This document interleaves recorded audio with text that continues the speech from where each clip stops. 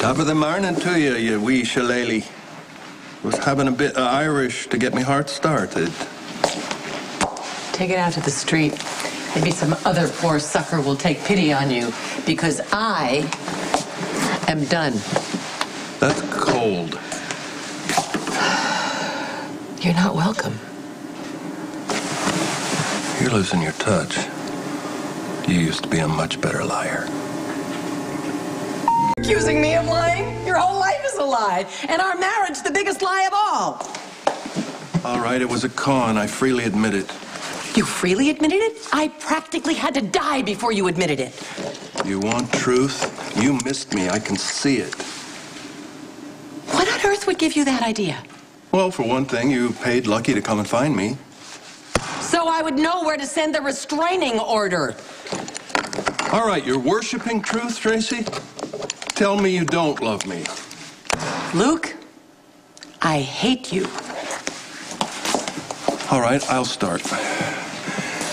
The reason that I didn't tell you that the marriage was a scam is I was terrified that I would lose you. I love being married to you. You love being married to my money. You're wounded. Your pride is hurt. I understand. Let me kiss it and make it better. Tracy, I can't imagine my life without you. I mean, I can, but it's not a pretty sight. And at this stage in life, I don't expect happy, but you are as close as I can get. Okay. You love me as much as you love my money.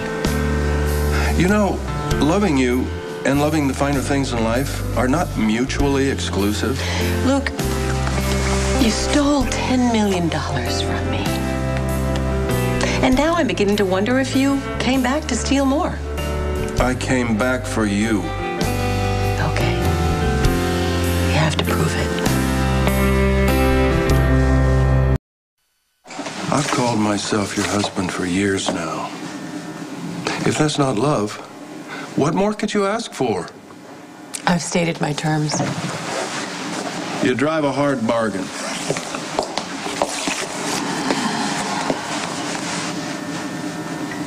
Okay, I do love you. Now we're getting someplace. So here's the deal I am yours. All you have to do is repay the 10 million you stole. Plus interest. Now we're communicating. Well, that seems more like a test of financial fidelity than love to me.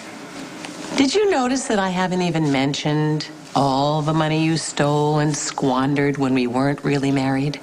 Really? You mean you didn't keep a running tally? Oh, hold it. Do you want to keep your job here? Listen up. All right, I'm all ears. Luke does not have run of this casino. He does not have an open bar tab. And if you even think of helping him by involving yourself in some scheme to fleece me, both of you, out on the street.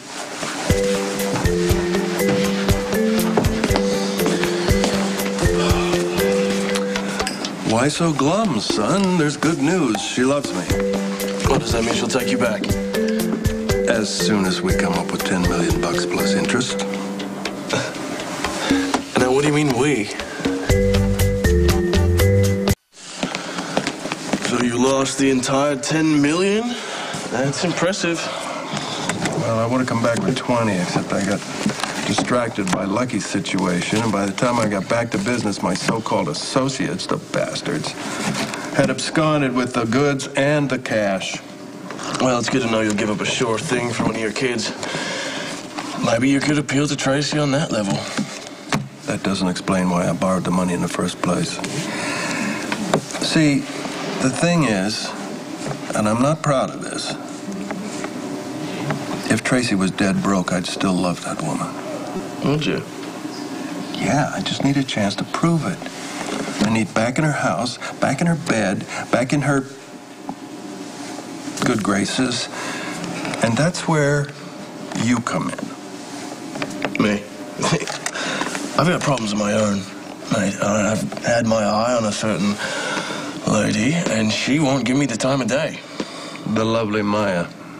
If she could just stand still long enough, I'm sure she would appreciate my finer points.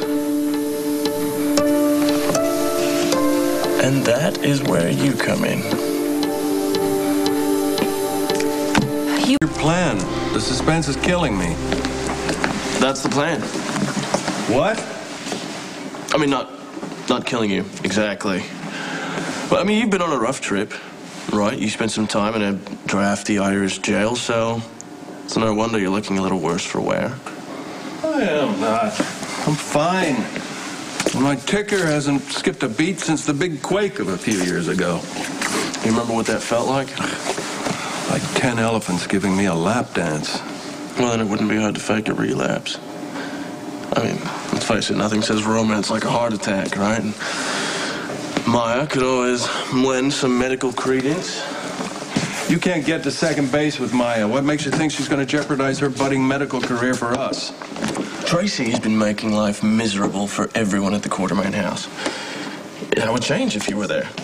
So we convince Tracy that you are so debilitated you have to move back into the mansion, that you would literally die without her. And then I, your devoted son, will be there at your side. Of course, except when I'm visiting Maya. Dodge, that's sick, even for us. I knew you'd like it. Tracy will be so worried that all will be forgiven, and hopefully Maya won't be able to resist. Yeah, but I'm the spud stuck flat on his back. Well, I can always sneak you some whiskey and cigars. Well, Maya would have to be a willing participant. Willing participant for what?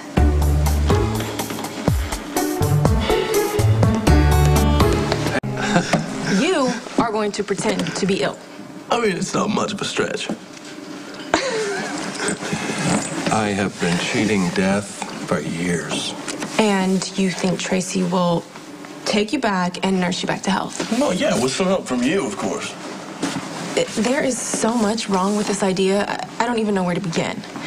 But for starters, Tracy isn't stupid, okay? Far from it. I- It'll take her all of what, 48 hours to figure out that you're scamming her again. She will kick you to the curb so fast. Maya, Maya, Maya. You're new in town, darling. You have no idea what the Spencers are capable of. Ooh, I love this idea. Dad gets a warm bed, some hands-on care. Maybe you and I. Uh, keep dreaming. We get to spend some quality time together. And why would I want to do that?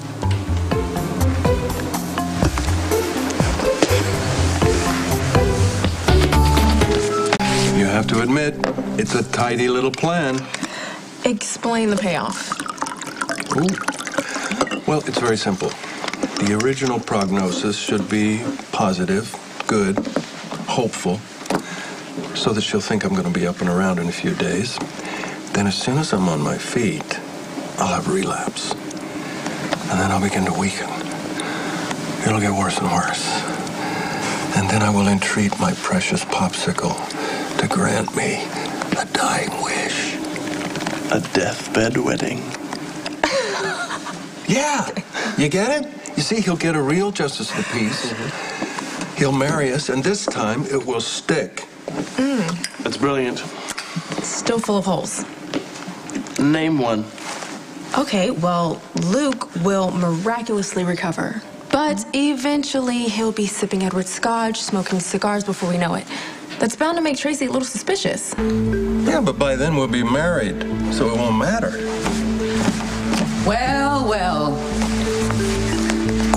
Isn't this an interesting threesome?